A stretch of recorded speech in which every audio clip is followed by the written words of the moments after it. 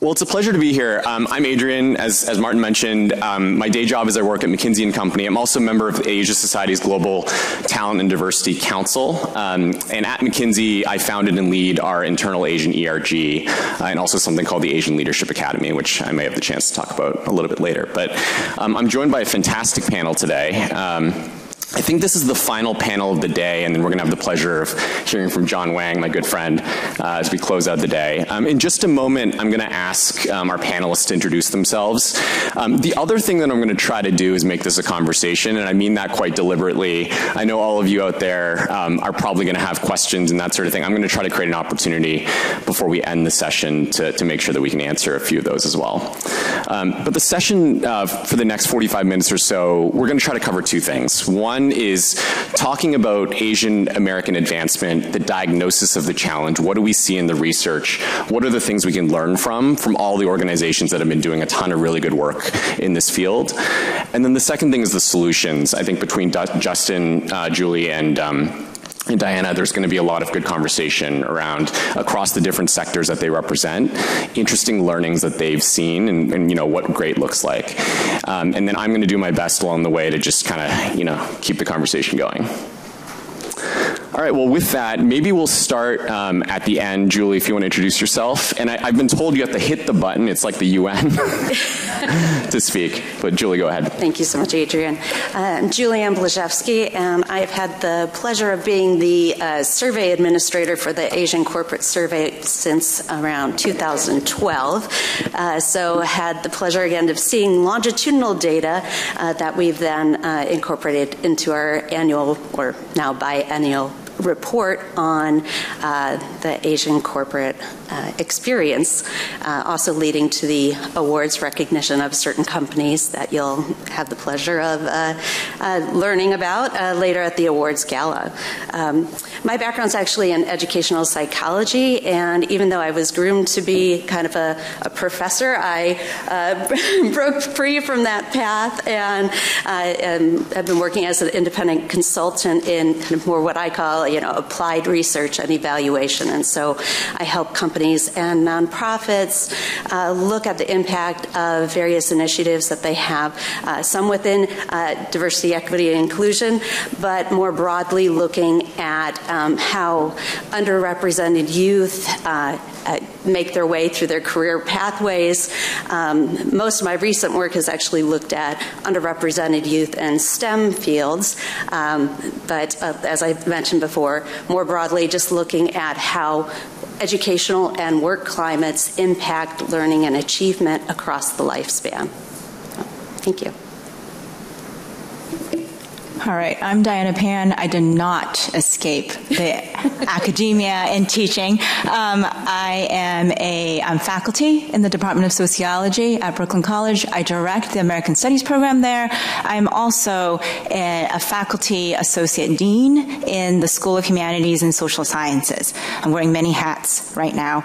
Um, but my research, my work, primarily looks at the experiences of Asian Americans, primarily, but also Latinx individuals individuals in what I call the elite professions, right? The, the ones attributed to the Ds. Um, the, um, uh, as attorneys, as physicians, and as um, professors. And um, so, where did that start? Why is that interesting? Why did I even want to pursue that? Um, a little bit of backstory. So, I'm a first generation college student, which means my parents did not go to college. Um, actually, very few people in my family went to college. I'm only the second person so far from both sides of my family, and um, the only woman so far. So, hoping my children, my daughters, will, will break that trend. Um, I am a 1.5 generation immigrant, which means I came to this country when I was um, a young child. Um, I grew up in predominantly white Oregon, which meant I was uh, very much marginalized, right? So what was interesting to me and what sociologists do, I don't know if any of you took sociology classes or were sociology majors, what we do is we like to study the exotic. So what was exotic to pe people who are educated in the professions, right? People who um, look like me and others, Latinx individuals in particular, in these professions. So here I am, right, studying exotic people in exotic spaces. Um, so yeah, and I'm really delighted to share some of my, my findings. Hi, everyone. Um, my name is Dustin Ling. I've been at Citi for about 20 years. My day job is actually a banker uh, for our global public sector business. So I deal with governments and, in particular, supranationals like the UN or the World Bank. Um, a little bit about my background I was actually born and raised in Aruba, the Dutch Caribbean. So, as you know, the, the Chinese are everywhere in terms of um, the Chinese diaspora. Um, but that makes me very intersectional, um, meaning being born and raised in the Dutch Caribbean. I'm Latino Caribbean. I'm also Dutch European. But my ancestry and history is also being um, American with very, very strong Asian American roots. I've been in the US for 20 years. Um, and, and being in banking, as you can appreciate for the past 20 years and two decades, you know, there's a certain profile when I started banking that looks like what a banker should be often white, often male. Um, and especially in the front office, you see fewer East Asians or Asians. So I think it's been my passion to really be involved on aspects of diversity and inclusion with my colleagues. The other thing is also I'm also LGBT, so you know you know code switching was very very familiar to me whether I'm Chinese as a Chinese American or as somebody who's from the LGBT community. Um, I'm also very involved in the industry as it relates to um, Ascend. I'm part of the Ascend Advisory Board in New York. I'm also part of the Committee of 100 um, Next Generation Leaders, so I'll talk a little bit more about that. But for me, at, whether it's at Citi or in the industry, it really is about representation of AAPIs, which often, you know, in my firm and others, is really not considered underrepresented. And so this particular uh, group of um, employees that are quite loyal and represent 13% of the workforce don't make it to the executive level. And happy to speak more about those solutions you talked about. Amazing. Thank you all. Um, the thing you should take away is it's a highly qualified panel and we're going to have a really rich conversation. I'm, I'm going to ask my first question actually to you, Diana, and, and it's really timely just coming out of Joy's presentation where she dug into some of the tactics and what she's seen in her career on what is really holding back the advancement of AAPI talent. This is something that you've studied for many years. What would you add to what Joy shared? So I thought what um, Joy shared was a good place to start, right, for this conversation. I would argue that the overarching issue is culture and I don't mean racial ethnic culture necessarily, right? I mean the culture of American society and professional spaces and professional culture, right? In the way that we are socialized, institutional culture. Because within these cultures and within these spaces, these institutions, are stereotypes ascribed to AAPIs, which Joy talked about, right? Such as, you know, um, being hard workers, but passive. Such as, you know, following directions, but not leadership material. The model minority image, which is actually rather pejorative and coined to put a wedge between black and AAPI communities, undermining this history of coalition building, which we could talk about if you're interested. Um, so then what happens then is these stereotypes are embedded, right, in how Asian Americans have been treated throughout history, but are reinforced also in the way that we see AAPIs in media, in our social, social, social media, printed media, right? Um, so these are kind of implicit in the way that we think and interact with Asian Americans. So are things changing? Maybe. Maybe. People are a little bit more aware, but do these controlling images change? That's something for us to think about right? Because we all have controlling images in these implicit biases. But if supervisors and our peers hold on to these images, then they're less willing to recognize AAPI talent. Right?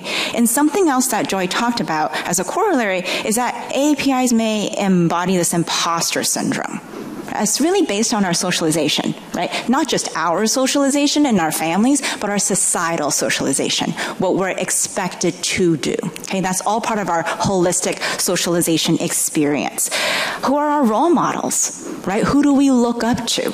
So this pipeline leak is then actually a result of internal identity negotiations as a result of that socialization and also external expectations, right? From American culture, society, um, in total. So this is rather quite a systemic issue, I would say. Julie, you run the Asia Society survey. What would you add from what you've seen from that from that data? Well, I need to correct you. Chris runs the survey. Sorry, Chris. we'll talk after. I don't want to get in trouble.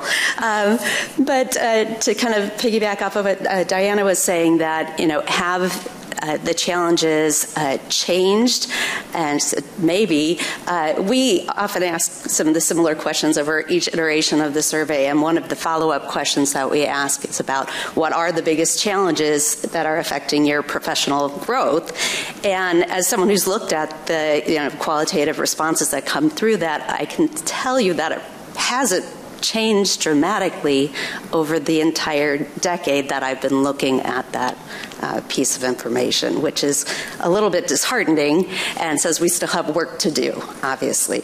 Um, but the themes that come through um, are, again, as what have been mentioned um, throughout the day, um, definitely looking at uh, struggles to gain visibility and recognition on kind of high profile projects.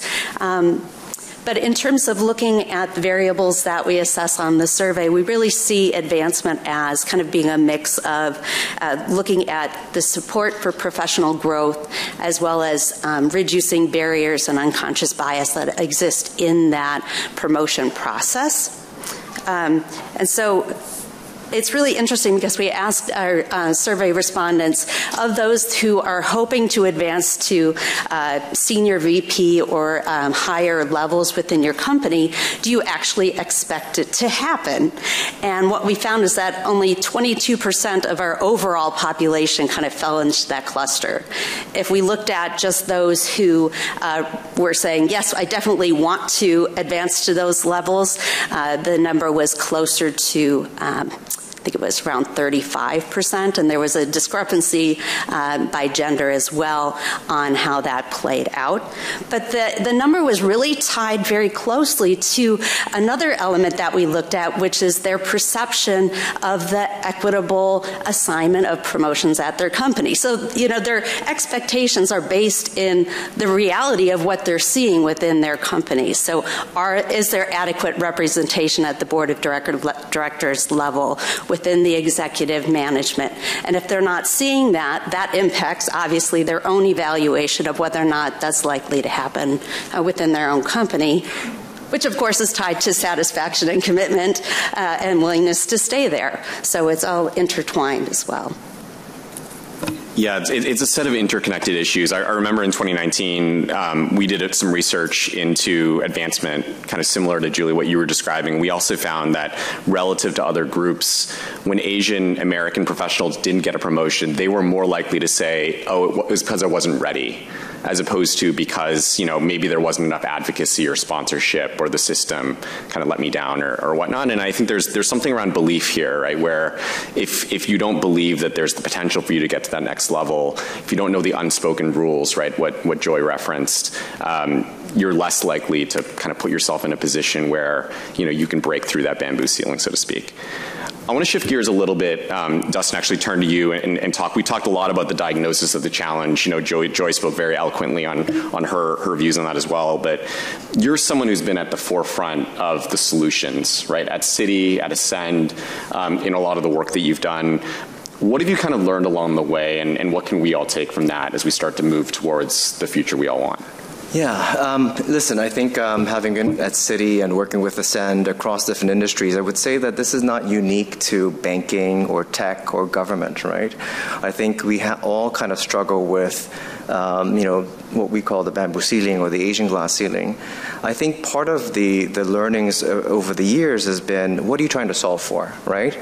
Um, and I think often it, it is easy, an easy excuse, I think, to kind of fall back to we have the volume right? If you look at the numbers that are out there, Joy put it up as well, you know, you know, if you, the, the number is 20 million, right? 20 million really represents the Asian American population. Um, but that's 6% of the US population. But the AAPIs are actually 13% of most workforces, right? 13%.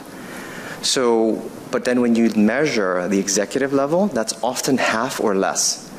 And that's the aggregate number, right? That's the aggregate full definition of AAPI. And that full definition is South Asian, it's one third, one third, one third, right? South Asian, East Asian, and then also Southeast Asian. So that makes up 20 million, and that makes up 13% of the, the workforce. So I think if you're going to talk about solutions, what are you solving for, right? And what are you measuring? Are you really measuring that?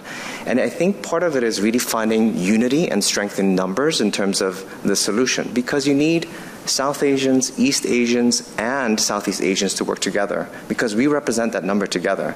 And that sometimes is a challenge, right? I mean, the four letter word AAPI represents 40 different countries, right? Uh, many, many different languages, different cultures, and how do you coalesce? Um, there's often, and I'll, I'll, be very frank here, and, and, some of you may be experiencing this, um, the words are, well, you're not underrepresented, right? Um, you know, so, so part of it is making sure that this very loyal part of the workforce is actually invested in. Just because we represent a, a number of them, are, are they really getting to that career path in terms of the bamboo ladder? Um, what, what we actually see in banking, I would say, is that you have 30% of the analyst class being Asian. And actually, as they get you know, advancing in, in throughout their career path, that numbers becomes actually smaller and smaller as they get promoted from analyst to associate to VP, director, and MD, and they get stuck in the middle. And that's where we need to focus and say, what types of solutions do we have in terms of developing this population? And, and this is not to take away from other dimensions of diversity. The LGBT community or the African American community or the Hispanic community should get all the resources that they deserve and need but so should the AAPI community. So part of it, part of the solution is finding unity as a, as a block, right, to advocate for what we need as a community. Um, having an API strategy, this is quite basic, but you know, Nan and I talk about this all the time. What is our strategy? And we talk about the three prongs: clients, we talk about colleagues, and we talk about community.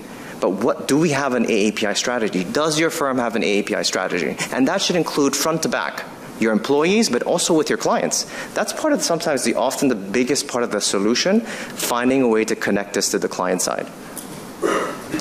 Yeah, I love this point about disaggregating the problem, right? Because, you know, it's the same at McKinsey, it's the same at many of the organizations that you're all part of. The answer isn't just we need more Asians in the company, right? It's across the different groups, it's a different challenge for East Asian women versus South Asian men, for Southeast Asian women, so on and so forth. And it's actually, I saw Ascend publish some research a couple weeks ago that showed that actually organizations that are among the most diverse in terms of overall representation tend to be the least diverse from a leadership representation standpoint, right? And the challenge, many of us were talking about this in the ERG breakout at lunch, is communicating that to non-Asian leaders at our organizations to say, you may look around and say overall Asian representation is X, but that doesn't get to the heart of the specific challenge that Citi faces or McKinsey faces or you know our other organizations face. Um, I want to stay on solutions, and Julie, I want to turn to you because I know that um, the survey that Chris runs uh, also asks, you know, what are organizations doing to address the challenges that the survey diagnoses, and what are some of the things that you've seen sure. people do? Sure, absolutely. Um, well, given that we're talking about measurable data, I'm going to make a plug for making uh, DEI metrics um, something that the companies are um, attaching accountability to. Uh, so, really having uh, comprehensive dashboards and scorecards that aren't just looking at overall representation of AAPI employees uh, in general, but are looking at that from across uh, kind of the whole career pipeline. So looking at entry level, mid level, and senior, uh, and being able to look at metrics that are in, uh, you know, looking at in depth at the promotion process, as we've talked about, looking at turnover metrics, looking at salary metrics, but also, just as importantly, looking at perception data, uh, satisfaction um, of those employees. Uh, the struggle, of course, is being able to drill down into uh, meaningful uh, subgroups within the AAPI community, uh, especially for companies that are maybe uh, smaller in scope in terms of their employee groups. So we get into issues with um, privacy concerns and oh, can we really uh, attach our uh, self ID data to our satisfaction survey data in house and how do we work with that? But um, as I mentioned, one trend within the companies that seem to be getting this right are uh, really looking across the, again, the career pipeline, looking at multiple metrics and doing their very best to kind of track that whole journey uh, in as nuanced as a way as possible. Dan, I'm going to come back to you. you. You mentioned in your intro, you know, you studied other groups, not just the Asian community. And I often think of us as kind of, you know, being newer to the diversity conversation. And we would be doing ourselves a disservice if we didn't learn from the experiences of other groups, right, that have fought a similar fight over the years. Um, from your research, uh, maybe with the Latinx community, what, what can we learn from those other groups? So I'd say in some ways, Latinx professionals face um, similar issues as AAPIs, right? And that comes back to these implicit characteristics of leadership, right? How we're the controlling images work in those ways, and what stereotypes might be holding one back. So the concern then as a society is that I'm going to get a little academic, right, as we think about this, is we really only know one model of discrimination based on race or racism, right? What we've been taught, what we see in media, et cetera, is really the one model that targets black African Americans, right? And so in that way, it's, um, with that recognition, it's easier to not only organize among black African American professionals, but there's also recognition from colleagues, from superiors, et cetera, of implicit of discrimination based on race, right? But in reality, racism, I'm telling you this as someone who studies race, racisms manifest in different ways for different racialized groups, okay? So there's one lesson here, I want us to think about that. Racisms manifest different in different ways for different racialized groups. And that intersects with gender, with class, with sexuality, right, et cetera, et cetera. For, for um, AAPIs in particular, the bamboo ceiling, which we've talked about today, is a real phenomenon. And that is incessant with that of what we call microaggressions. And I'm not really sure what's so micro about microaggressions, right? But that's something that AAPIs will talk about and have experienced, especially in the professions. But microaggressions are a form of discrimination. If we see it as a pattern that happens to a particular group over and over and over again, well, the core definition of discrimination and, and discrimination based on race is repeated pattern, right? So that's one example of how that discrimination manifests. So advocacy for AAPIs, right? How it may be different than other groups such as um, black African Americans, it also takes educating and that means educating our peers, our employers, and ourselves, right? Because the way that our society thinks are, are about discrimination is that APIs are hesitant to even describe our race-based discriminative interactions as such. I have so many respondents in my research who will talk about these repeated patterns of what's obviously race-based discrimination, but stop, call, stop short of calling it racism right? So we need to educate ourselves and the racisms, right, that affect different um, groups. So I'm going to, you know, just put a plug in there. There's a whole field of Asian American studies. I don't know if anyone took any classes in Asian American studies, right, that engages with how Asians in the U.S. have experienced racism through laws, day-to-day interactions, systemic discrimination, and on and on and on. That really speaks to this um, group-specific um, experiences with discrimination. So it'll take some work to start naming them, and I do think we need to start naming them, right, as part of the advocacy. And we do, we do need to also learn and that's part of the process. It's more emotional labor, right? It kind of adds on to more work, but um, but if we want these cultures to change, we really need to do this work. Yeah, it also speaks to the diversity of, of our community, right? I just as on a personal note, I'm not actually American. I'm Canadian. I don't know if there are Canadians out there, but um, thank you, thank you. Um, and so I didn't grow up learning about the history of Asians in America, right? I didn't know about the Chinese Exclusion Act. I didn't know about the building of the railway. I didn't know about the, the murder of Vincent Chin, right? These were all things that for me were new, and I actually learned them after um, the Atlanta spa shootings, right? When our ERG took it upon ourselves to educate, to your point, Diana, the, the community and there are people that are newer to the country than I am, right? Like I'm working with someone who, who came to the um, United States for grad school. He grew up in China, and, and he probably knows even less about the history of, of Asians in America. And so it's, it's, it's, it's the challenge of how do we kind of get on the same page and point in the same direction, right? Because the issues are the same whether or not um, you just got here, if you got here three generations ago, you, your face looks Asian, right? You, um, people won't be able to differentiate.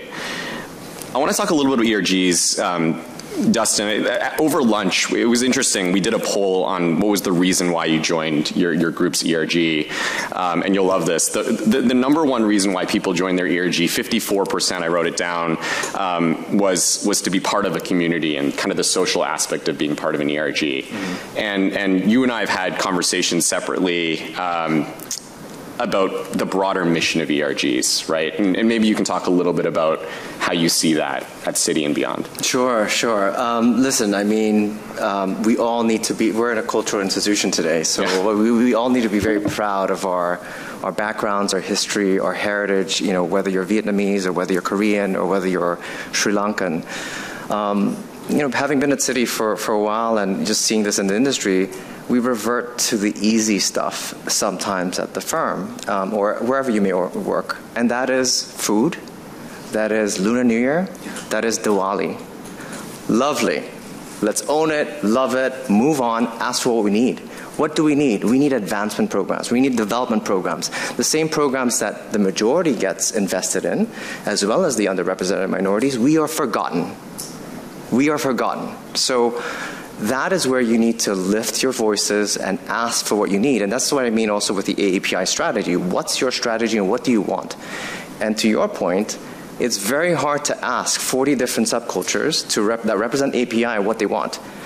East Asians may feel that they need certain things, and, and South Asians may feel that they don't need any, uh, something else, right? So part of it is getting on the same page on what the API strategy is.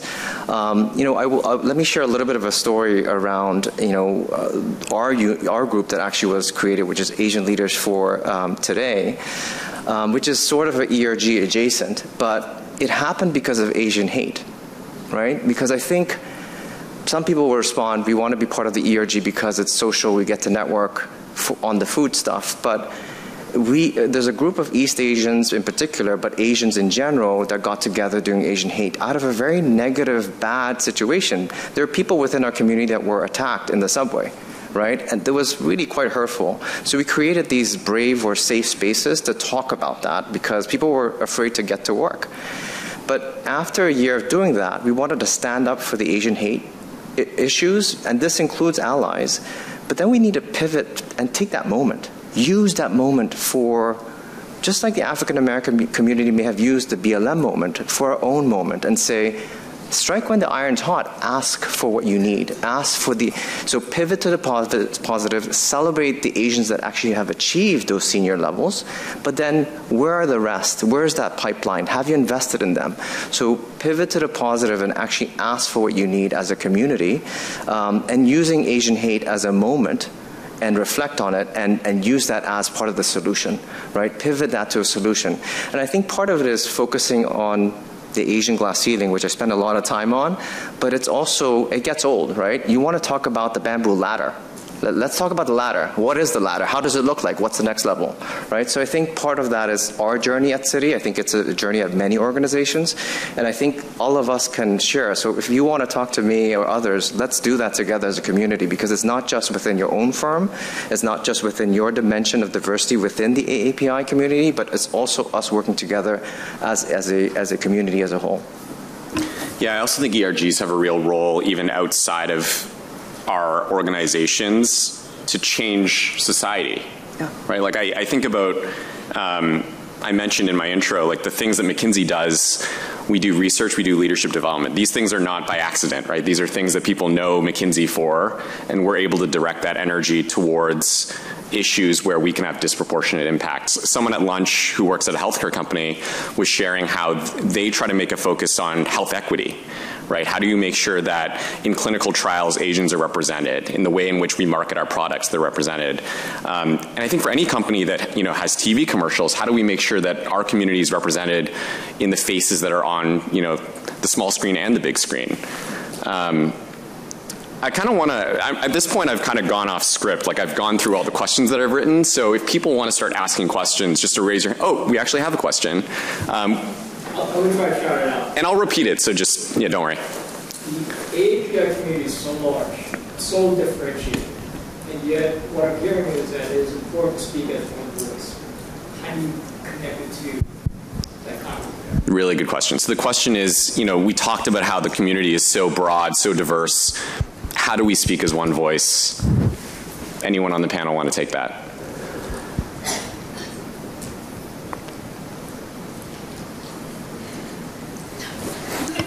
I, you know, I would just, I think. Um, I would say a couple of things. How do we speak as one voice? I think uh, you're, you're right. I think I was just at a convention uh, two weeks ago for the Chinese American community, and we were trying to figure out what is our message. But I think part of it is making sure that if you're at your organization, I go back to what's your AAPI strategy? right? Um, and defining that, right? And making it measurable, right? Um, is the strategy for that to address anti-Asian hate, or is that strategy around advancement? And usually, when you're talking about professional advancement, I think it's making sure that we are making measurable uh, progress in retaining Asians, but then also um, advancing them up the chain to the C-suite. And, and, and again, 6% versus 13%, I mean, it, it, it's just not it doesn't seem like it was it's the right um, overall programmatic approach. So I think part of that is making sure that all of the dimensions of diversity within the AAPI community actually speaks as one voice for the advancement portion of it and measuring that. I mean, that's what I'm, from my perspective, that we should do as, as, a, as, a, as a team. I'm going to speak a little bit about the academic part right? If we think about this processes of racialization, these various Asian ethnic groups have been racialized in the same way right? In or similar ways, at least the ways in which the first um, Chinese migrants came to the U.S., the uh, first Korean migrants, Japanese, Indian, etc. They're all due to labor, right? I mean, Asian Americans have been in this country since the 1500s. This is very, very much a part of U.S. history, right? Asian American history is U.S. history. And so the, the histories and the laws of racialization and how they have applied to Asian Americans have unites us, right, as one group in that way. Also, strategically, I want to point back to, again, it's a little bit of a history lesson, but in the 60s and 70s, right, these various Asian ethnic groups came together. I'm not sure if we're all aware there was an Asian American movement, right, an Asian American civil rights movement that was really inspired by the black civil rights movement, right? And that really took strategically coalitioning together and really recognizing these um, similarities, which, you know, that Asian American movement, then we, there was an offspring of the yellow power movement, which my students are always very surprised by when they, learn there was a yellow power, more militant um, movement. And more recently, I would point to the fact that these xenophobic racist attacks on Asian Americans, right? Xenophobia has been kind of the experiences of Asian Americans since um, our beginnings here in this country, right? So if we look to our current attacks on Asian Americans, which is not really, I mean, it's fizzed a bit, but not really. We just don't see it in um, mainstream media anymore. People are still being attacked. Um, but there was no ethnic discrimination on that right? People who were Vietnamese or Chinese or you know um, Filipino, there was no discrimination because the way we were we are racialized, right? It was an equal opportunity attacks that were happening. So I would I would argue, right? We are racialized, right, by our society and by history, and that gives us the platform by which to organize um, together. Yeah, I would add one thing, which is, you know, some of you may have seen TAAF's status report that came out a couple weeks back. And like the one thing from that report that really stuck out to me was upwards of two thirds of Americans feel that Asian Americans are more loyal to their country of origin or are unsure whether or not that's the case.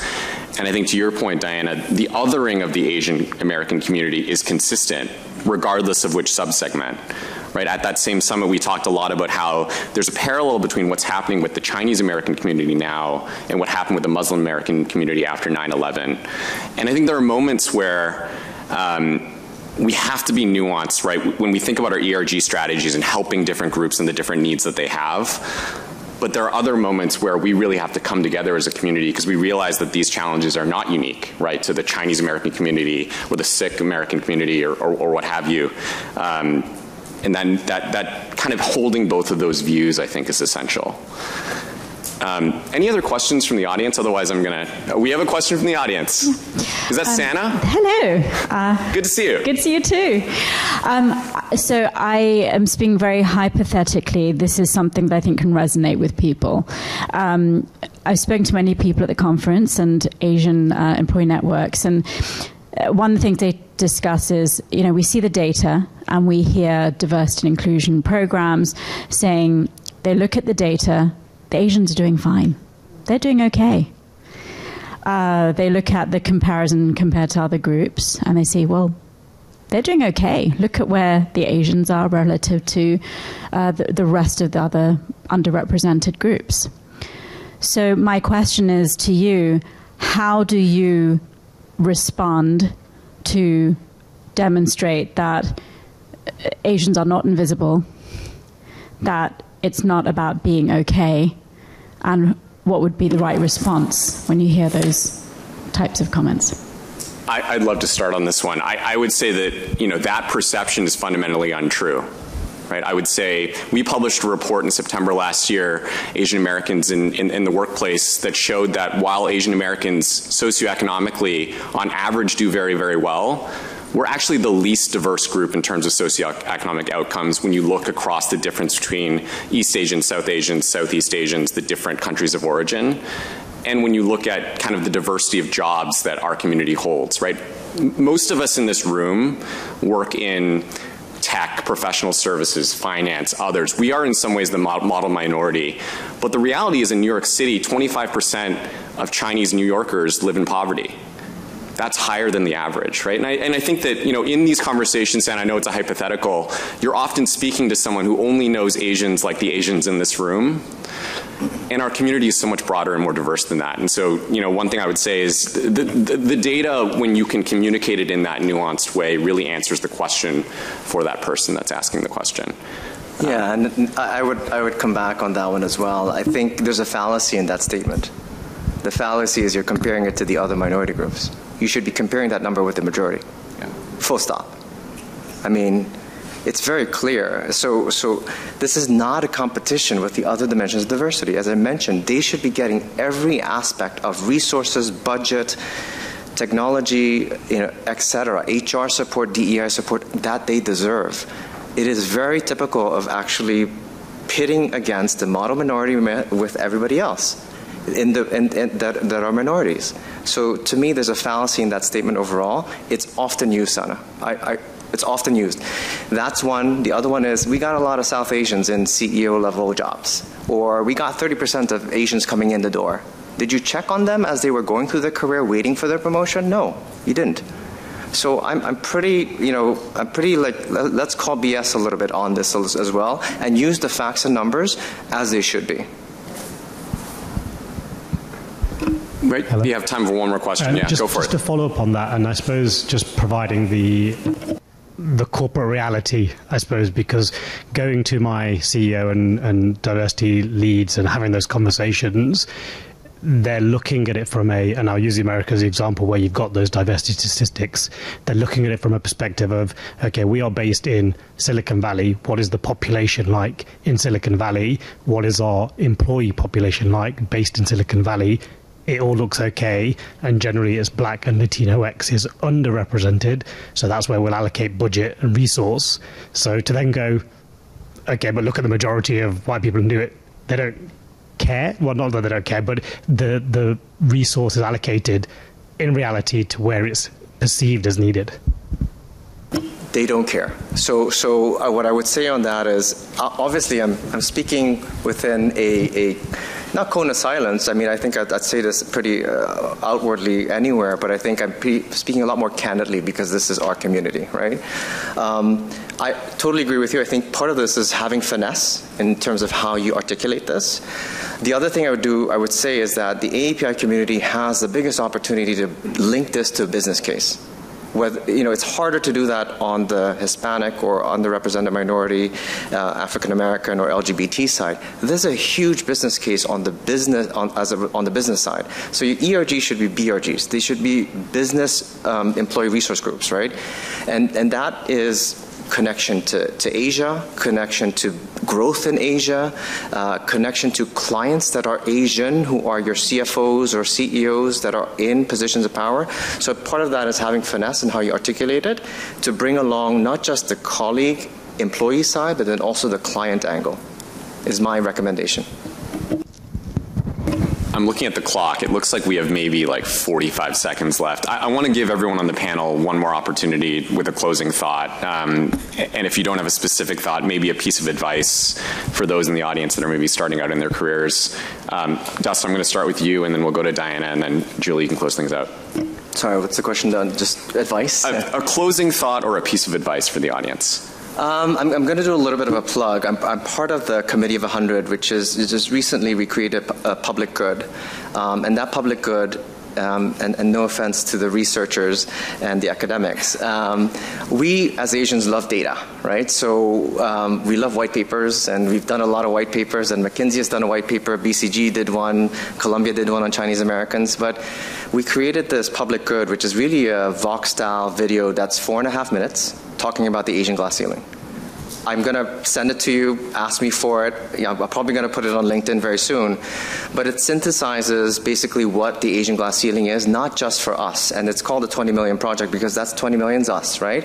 So, um, that, so part of it is nobody's going to read a hundred page you know white paper on the, the bamboo ceiling so we created this digitally native um, production and put it on YouTube. And, and really, it, it articulates a foundational story that we can tell for ourselves because many of us don't know that 20 million is our number, which is you know interesting. But then also using it with um, non-Asians. Because if we can articulate our own message with the, own, with the facts and how we're divvied up uh, as 40 different kind of subcultures in this AAPI definition and the, the ceiling that exists, then why would the white male understand that? So anyway, I, I, I suggest if, if, you're interested, please speak to me or I can share with you. Um, uh, you know, really telling that story. Part of it is telling our stories with facts, but telling our, telling our stories as really human beings that are Americans, that, but then are also happen to be Asian as well. All right, I'm just going to um, recommend that you continue to advocate if you haven't, right? Advocate within your own entities, but also think more broadly. And I, I'm speaking on um, a school pa- a panel for, for youth later this evening, and um, it's the same issue. It's the same issues in visibility, the model minority. It starts plaguing us from a young age, right? So the advocacy needs to start younger. Yes, advocate within our own entities, but also it, with school boards, of school boards, with um, educators, right? What type of curriculum are they offering? Are they teaching these things? Because we need to change institutional cultures in order to be, in order to recognize how we can, the, you know, the need to disaggregate the data, the need to look at particular numbers. I mean, as um, Adrian said earlier, you know, the, the most impoverished group in New York City is actually an Asian American ethnic group right? But we don't know this because we don't think about Asian Americans in that way. So we need to advocate in all realms of um, our lives. Well, final thought I have to make a plug for the annual report of the survey and just let you know that the, the subtitle is focused on ERGs and seeing that as a connecting thread across positive outcomes. But in the uh, spirit of doing drill down, I wanted to just kind of connect back to what Dustin said that, you know, ERGs when they're leveraged in a way that's more of a, a, BRG, so they're seen as a resource for strategy within the company, we're finding that that is really what pushes a, a, an ERG to a new level in terms of the impact uh, that it has for employees uh, across many outcome areas. So. And in fact, people who are active members in their ERGs, if it's a, not a highly leveraged ERG and maybe it's mostly focused on cultural um, activities, uh, those tend to be the least satisfied employees within the company. So they're very active, but they're not seeing a lot of impact of being involved. So really looking at the quality of what the ERGs are doing and how the senior leadership are leveraging that to uh, address client needs and employee needs alike. It's a great place to end. ERGs is BRGs. Well, Julie, Diana, Dustin, real pleasure. Um, thank you for joining me on this panel. Thank you all for being a fantastic audience. Um, we're going to turn things back over to Martin.